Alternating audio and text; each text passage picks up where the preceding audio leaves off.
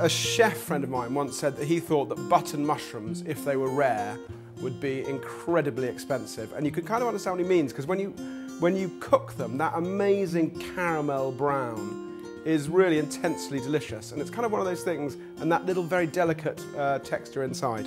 So these could be truffles if they weren't so cheap. So chop up your mushrooms. Just chop them up roughly. You're not going to need to worry about uh, them being very finely sliced. Okay, so going to slice uh, some garlic. Just crush it in the skin and the skin will just peel off easy like that. Uh, I'm going to use two cloves here. Depends on uh, how garlicky you like your mushrooms on toast. And then finally, a little bit of parsley.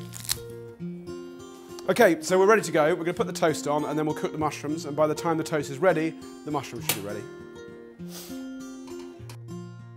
So we put a good blob of butter in. It's going to smoke.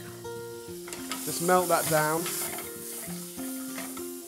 We want to brown the mushrooms, not stew them. So we want to get the pan really hot. Now at this stage, don't be tempted to, to fiddle. You want them to go brown. If you start tossing them or moving them around, the, they'll lose the heat and they will start to stew. So just let them be, let one side get nice and brown.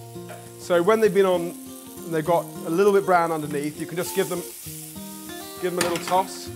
You'll see they're getting a nice bit of colour. Again, just leave them. While those are uh, browning on that side, I'm just going to season them. A bit of pepper, a little bit of salt.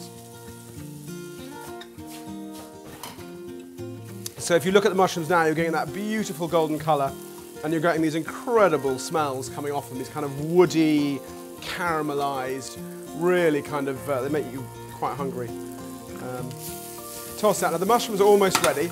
So when they're almost ready, and not before, we put in the garlic.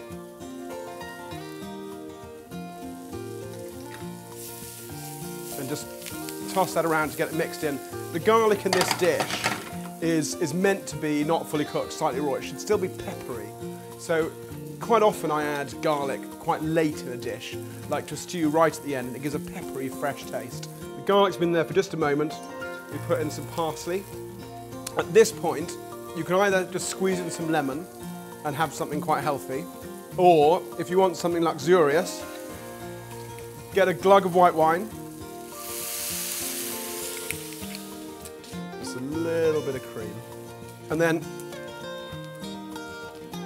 out and onto your toast.